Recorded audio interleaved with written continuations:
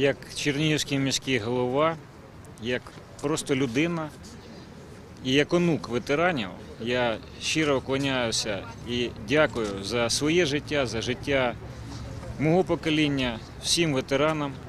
Вічна пам'ять всім полеглим боям. Це була дуже важка війна, наскільки я це міг розуміти із спогадів моїх дідусів і бабусь.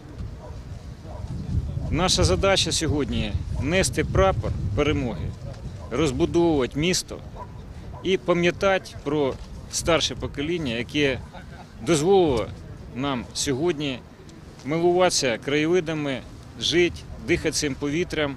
І ми ніколи не забудемо їх подвиг.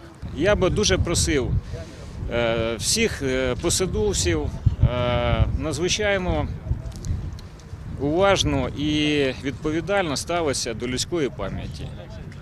І не вбивати клин там, де і так багато клинів цих осинових на тілі України і в пам'яті українській. Сьогодні, як ми будемо, е, скажімо так, переглядати сторінки історії і переглядати 9 травня, ми допереглядаємося до того, що треба буде переглядати е, кордони України, які ми після е, перемоги здобули, і далі далі. Я вважаю, що є якісь речі, які переглядати не варто, треба рухатися вперед і зберігати світлу пам'ять, е, ту пам'ять, якої достойні е, наші ветерани, герої.